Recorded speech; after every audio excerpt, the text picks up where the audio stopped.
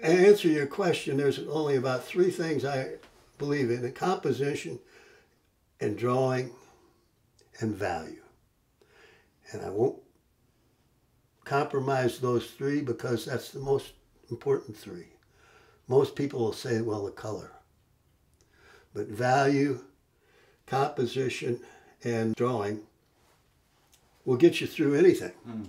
Your color comes in when you want to set an emotion or a key. I don't care where you put red in its hue in a painting, your eye's going to go there.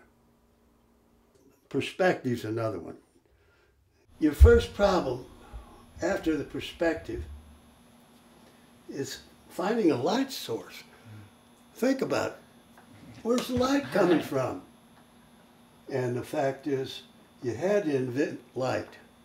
It, it worries you because how much can you get by with without looking ridiculous? Lightning became one of my favorite things. But basically, you want that that highlight portrait light on the, the gorilla. Here's a horse sculpture I did for a for a painting. When you don't know the anatomy and you want to light something, you can get that special light you want and make all the difference in dr- dr- drama in the world. You have to have an imagination, first of all, a fertile imagination. And if you get a job, you know you got to do something and it's got to look professional. So you educate yourself. So I, I always take a shot of my still life before, whether it's beer or anything else.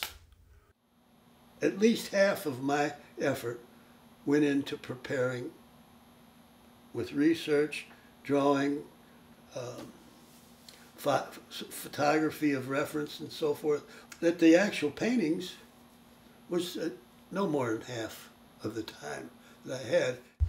They wanted a tough guy drinking beer. That's all I got. Uh, and uh, I ended up with a one tough Texan.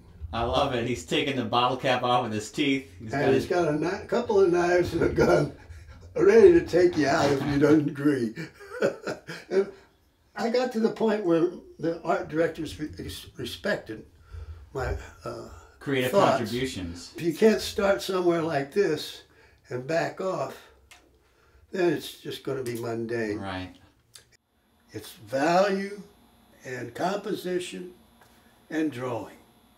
Then comes your choice of mood and color.